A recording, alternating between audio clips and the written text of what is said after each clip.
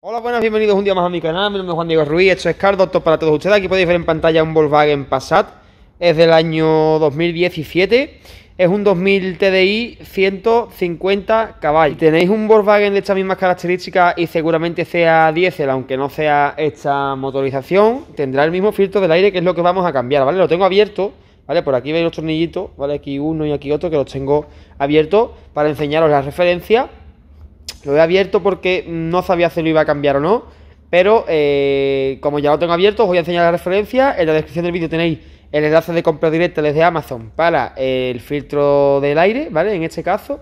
Y eh, algunas herramientas más que os pueden utilizar, que podéis utilizar para, para vuestras ñapas en casa, ¿vale? Para vuestro chapucillo que hagáis en casa y demás.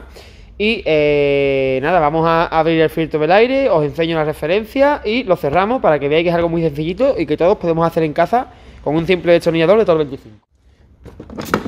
Bueno, ya lo tengo todo abierto, lleva un tornillo aquí, otro por aquí y luego lleva 1, 2, 3, 4, 5, 6, en total 8 tornillos, ¿vale? Esto simplemente lo levantamos hacia arriba, no hace falta ni que quitemos la carcasa, ni el medidor, nada, simplemente lo usamos hacia arriba y sacamos el filtro. El filtro lo acabo de limpiar con aire comprimido, ¿vale? Aquí tenéis la referencia original. Sería 5Q0 129 620 Barcelona y la referencia en el filtro MAN, ¿vale? Porque esto es un filtro MAN, aquí la veis, MAN Filter, la marca. Eh, la referencia original equivalente al filtro MAN es C30005, ¿vale? Esta sería la referencia eh, en MAN. Como veis, es un filtro de aire, igual que los de casi todos los vehículos, ¿vale? Otros llevan aquí una esponjita, este en ese caso no la lleva. Y eh, en filtro man tenéis la referencia. Simplemente lo he limpiado. Así que eh, también he limpiado el hueco de ahí, ¿vale? Lo colocamos en su sitio. Y esto simplemente lo colocamos aquí. Y ahora pues vamos alternando en cruz el apriete de los tornillos. Por ejemplo, primero vamos a apretar este. Ahora vamos a apretar este. Y ya pues vais alternando como buenamente queráis.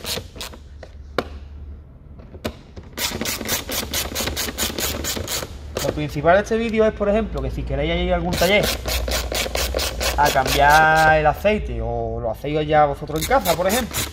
Pero si vais a algún taller y os quieren cobrar por, cambiar ese filtro, por ejemplo,